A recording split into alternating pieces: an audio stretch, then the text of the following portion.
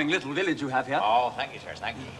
Oh, been doing a spot of digging, have you? That's right, sir. Hard at it. Hard at it. Oh, well, I sincerely hope that whatever you've been planting comes up. Why, crikey, I don't. Why not? I'm the local grave digger. Here, how would you like to buy the skull of a Norman prince? And if you buy me a large gin, I'll chuck his missus in and all. Excuse me.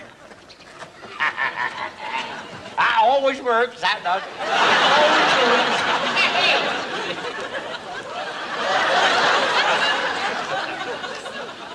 That is exactly as I remembered it from all those years ago. Our prisoner of war camp was just over the hill there. Was it really?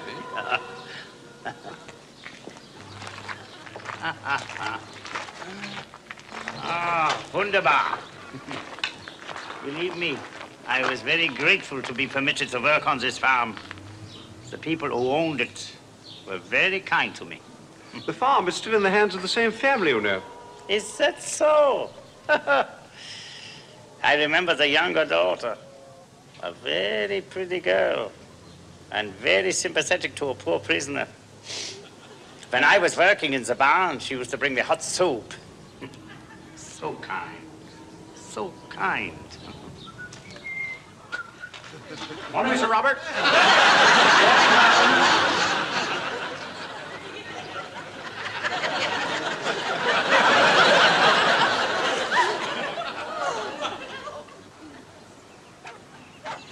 Well, she.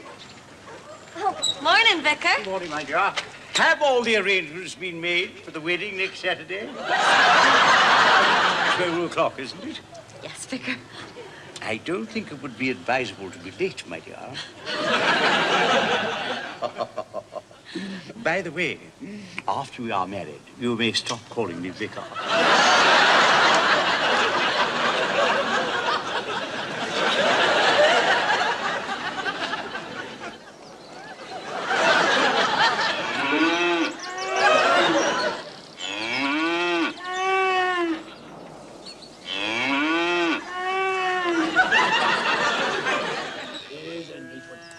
Wait, wait, wait. Excuse me, Yes, madam. miss. Oh, sorry, miss.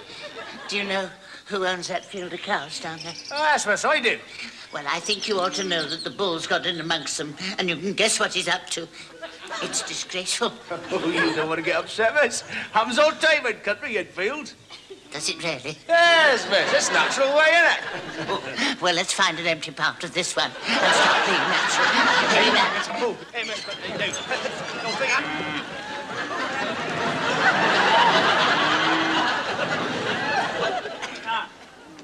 Here's the butcher's shop.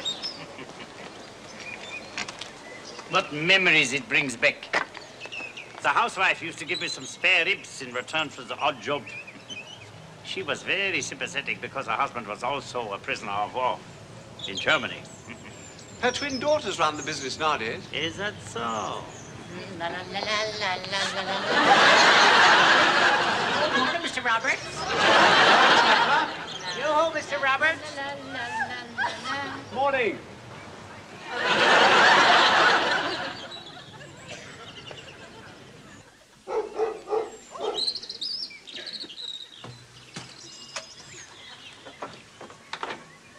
Oh, hello, Honky Tonks. How are you? Nice to see you. Morning, sir.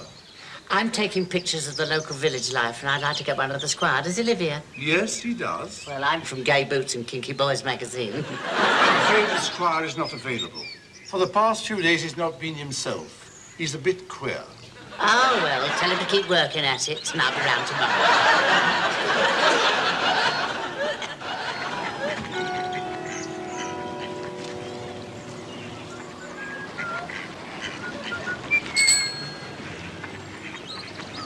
Morning, Mr. Robert.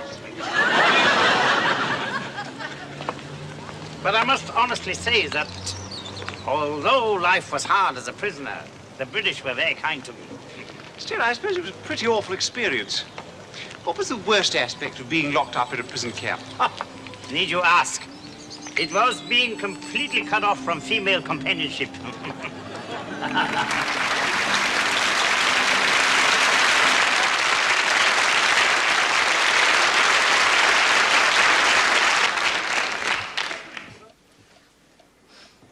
Where the hell is the blasted fella? Time's running out, you know.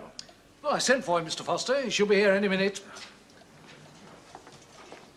Your drinks, Mr. Foster, sir? Yes, all right, Groombridge. Put 'em on that table, will you? Oh, and, uh, Groombridge, this room is out of bounds for the next hour to all members, uh, except for Mr. Jarvis, of course. Very good, sir. I'll see to it. Now, David, you're absolutely certain that the deadline is 12 noon today? Well, that's what it says in the documents. Right. Well, then, in about uh, 20 minutes' time, we shall be home and dry. Hello, Charles. Sorry I'm late. oh, there you are, Jarvis. Uh, uh, help yourself to a drink, will you? Oh, thanks. I say, what's all this about? I gather from the Secretary's message it's a matter of some urgency. All right, David, explain it all to Mr. Jarvis. Yes, well, uh, as you probably know, this building which the club occupies was leased to us at a peppercorn rent many years ago by the Pendress family, who are the legal owners. Yes, yes, I know that. Well, the point is that the lease has to be ratified every 25 years by a male member of the family. Exactly. And if this requirement is not met, then the club loses possession and the building is offered for sale on the open market. So what's the problem? Well, we've run out of blasted Pendresses. Unless we get a signature by 12 noon, which is in approximately 18 minutes, and it's curtains for the club. That's absolutely appalling. Oh, no, it isn't. It's absolutely marvellous. Because at 12 noon, these magnificent premises come on the open market, a fact known only to the three of us, at the 1902 valuation. 1902?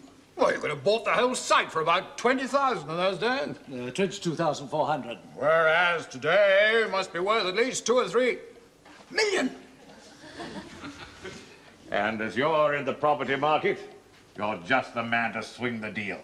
Yes, but are you certain we can pull this thing off? I mean, there are no hidden snags. Well, I'd be most careful to comply with the requirements of the original agreement. Every effort has been made to trace a member of the Pendress family, including extensive advertising in the past few weeks. In what publications? Yeah. The Canvey Island Gazette and the Sludge Pump Operator's World.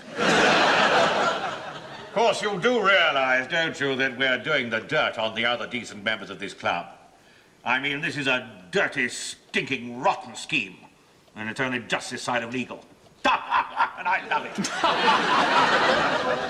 Stand aside, my good man, stand aside. I demand admittance. Good God, there's a couple of blasted tramps. Get rid of him, Groombridge. I'm doing my best. Well, if you can't manage it by yourself, call a policeman. One moment before you act precipitately. May I inquire who is the secretary of this hallowed club? I am. Then may I introduce myself? I am Lancelot Castlemaine Orpington Pendress. What? And this is my oh. friend and associate, Smelly Bins. All right, Groombridge, you can go. I have come in answer to your advertisement. Being by chance in Canvey Island admiring the view of the oil refineries, I stumbled across a copy of the Sludge Pump Operator's World. and there, on page 39, my name leapt from the page. Well, we can't just take your word for it, you know. Uh, Have you any proof that you're a Pendress? Allow me, sir.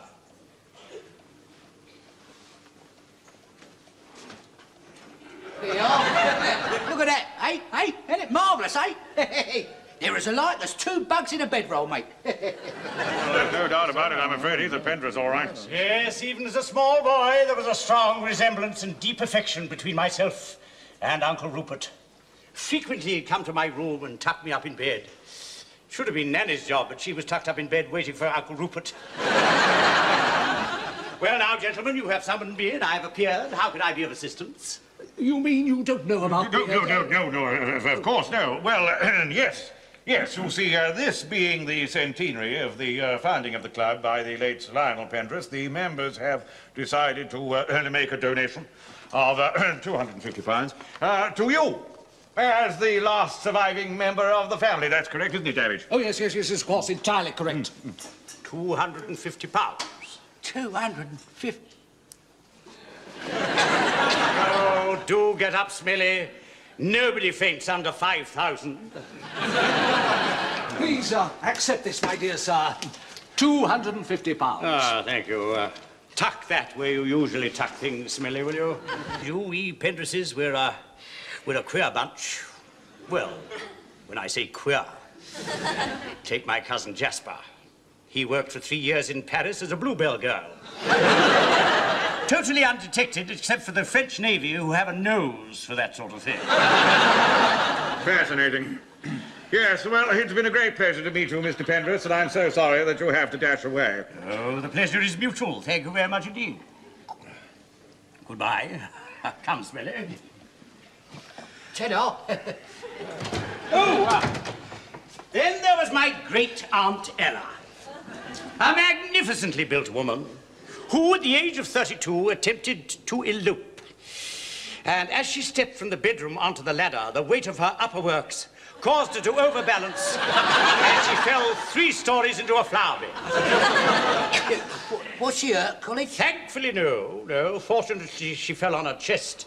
and she spent the next 20 years in the Middle East, touring in a play called The Hunchback of Notre Dame with two hunches. Yes, yes. Well, I know you'll forgive us, old chap, but we have a very urgent meeting coming up. Then I bid you adieu. Come, Smelly. Oh! I almost forgot. Where do I sign? Sign? Sign what? The lease that has to be ratified every 25 years by a male member of the Penrose family. The swine knew all along. Oh, well, I suppose there's no point in beating about the bush. All right, now look here, Penrose. Simply by not signing that document, the four of us here could make £50,000 apiece. 50,000. Oh, do get up, Smelly. If he succeeds in selling the house, it'll mean at least half a million each. Half a million. Oh, very well then, half a million. Now, what do you say? Get knotted. What? the thought of it fills me with horror. I gave up money and its attendant problems when I first went on the road. Oh, go on, College. Go on. Take the money. Take it. Don't go be a fool. Can't you see what it's done to these three? They think nothing of stabbing their fellow members in the back for the sake of it. Yeah, but I, I'd like to live in a big house. If you did, you'd have to get up every morning and have a hot bath. Don't take the, don't take the money, College. It's, it's not worth it. Aha! A minute to go. The uh, fickle finger of Penrose, wouldn't you say?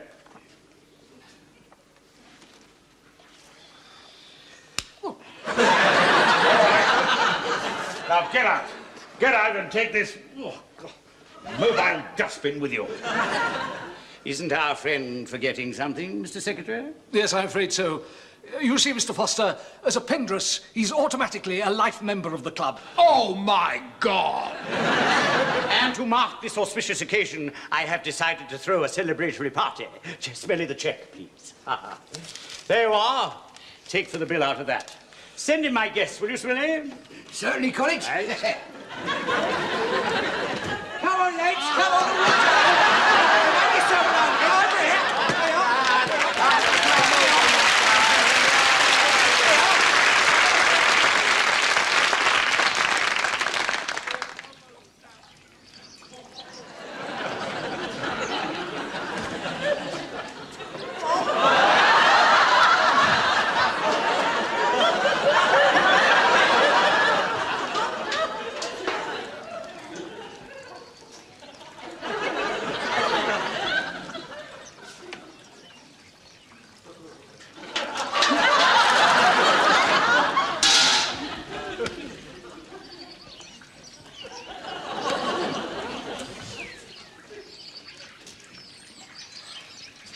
Oh, it's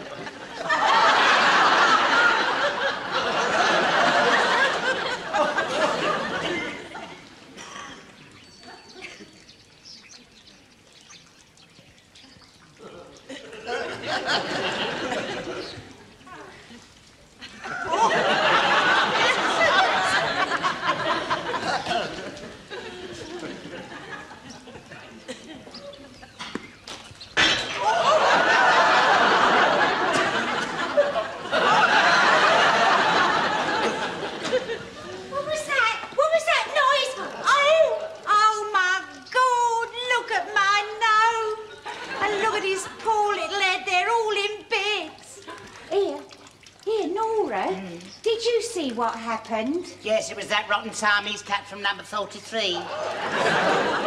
Come through here like a bat out of hell, chasing an Alsatian. Why does he always pick on my gnomes? Why don't he try somebody else's? That's the fourth time this week. Fifth. You know, I've a good mind to go up and see that Mrs. 43. I mean, them little fellas, they don't come cheap, you know. Get no money out of her, love. She's as common as muck. Mm. It's people like her who ruin the neighbourhood. Yeah. If I'd paid me rates, I'd ask for a rebate. Oh, I'm ever so glad she don't live next door to me. I'm ever so lucky having a kind soul like you. Yes, well, what I always say is, I always say a good neighbour is a blessing from above. As a matter of fact, I was hoping that I'd see you today. I've got some news for you. Really? Something wonderful's going to happen. Oh. And just thinking about it makes my chest swell with pride. Well, don't tell me they've discovered how to transplant bosoms, dear. Nora, that was uncalled Well, go on, for. astound me then. Well, it's about my Charmaine. It's going to happen to her at last. What every woman dreams of. And you've only just found out. She's been the talk of the recreation ground since she was 12. Oh, I mean, she's getting married. Who's the short-sighted fella? Oh, you know him, you know him. He's that dark chap, you know, works on the bacon counter at the super. Oh, you mean the one who sat on the slicer and got behind with his orders? Nora! Oh, oh, you... Oh, you are a fool. Oh, oh, Oh, I dear. say. But uh, when's the wedding then? A Thursday week. So soon? Oh, I didn't think she was in quite such a hurry, you know. She's not in a hurry. She's got nearly three months to go yet. Where are you going to have the reception, love? Oh, well, you know, here at home and out here in the garden, you Oh, nice. That's nice, yes. Uh, and that's why I want to ask you, Nora. I should be delighted to accept. Wild horses wouldn't keep me away from my best friend's daughter's wedding. and if there's anything I can do to help, you know, like um, knives, forks, beer mugs, sugar, bit of butter, you've only got to ask. No, you see, Oh, that darling girl. I know I shall sob me heart out when she walks down that aisle. I've always looked upon her same as like one of my own. And so has Sid, bless her. Nora, listen! It's just no use. I've got to come out with it. Charmaine don't want you to come. Well, she says that after a couple of milk stouts, you might come out with a mouthful, insult everybody, and, and start telling them filthy stories. My darling sweet Charmaine said that. The rotten little bitch. Well, it's true, isn't it? You always ruin everything. I mean, look what you've done at my mum's funeral. Why, what did I do? Go on, tell me. What did I do? Go on, tell me. T- just tell me to my face. Well- Come on. You drank a whole bottle of sherry afore we left, and then you disgraced yourself at the crematorium by pretending to be Reginald Dixon playing his organ as the coffin went through them little doors. Well, I was hysterical with grief. You was drunk. And I'm not going to have that, not at my daughter's wedding. And another thing, I am asking you, Nora, if you will kindly tidy up this this rubbish heap of a garden. I mean, it's a disgrace. I've a good mind to put the sanitary on you. Now you could talk to me after all these years. after all the things I've done for you. There's only one thing what you can do for me, and that's move.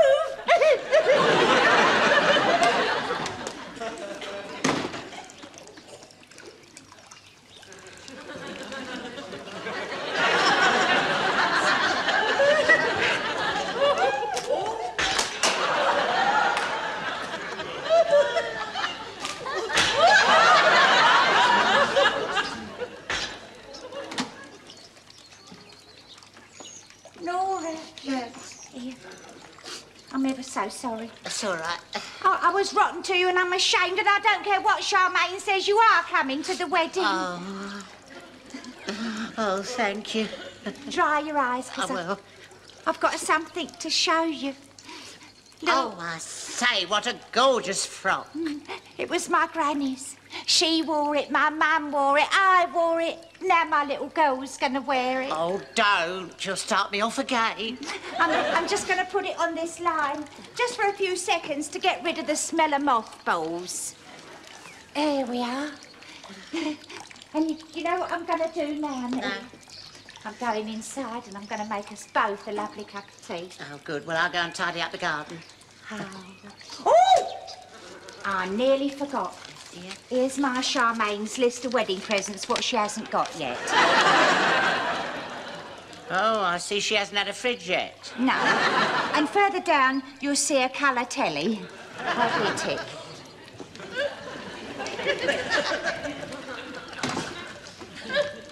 Cheek.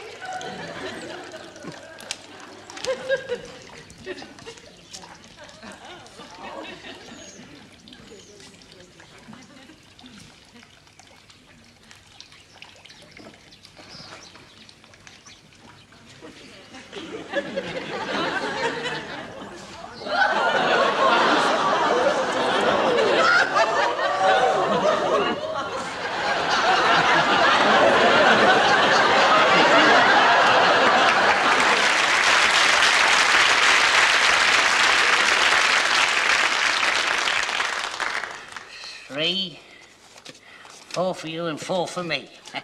And 50 pence each. That's four pounds fifty apiece minus the betting tax. Four fifty. How lovely. I shall put that away for something special. Yes, I'm going to put something away special tonight, like half a bottle of scotch.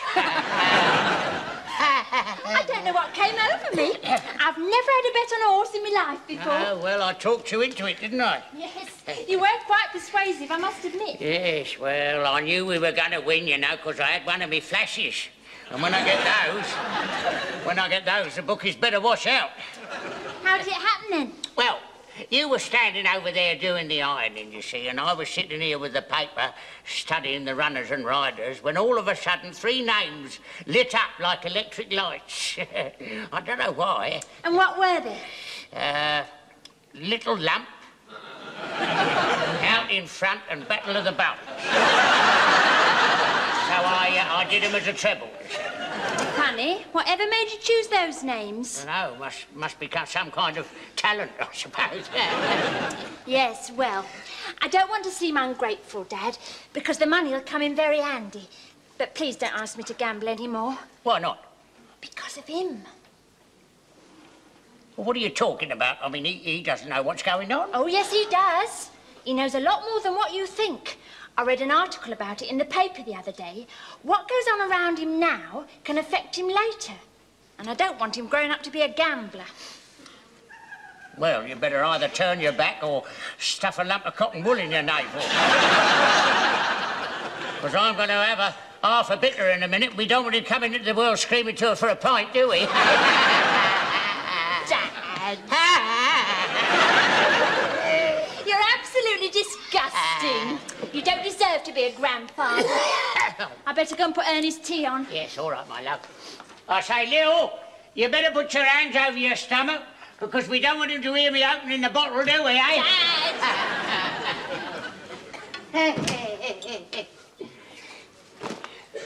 Uh, oh, Lil, Ernie's here and he's been up to something. You mangy old goat. There's nothing on my conscience, mate. Oh, what about that widow up in Sheffield you told me about when you were plastered one night then? That was before I was married. Oh, yes.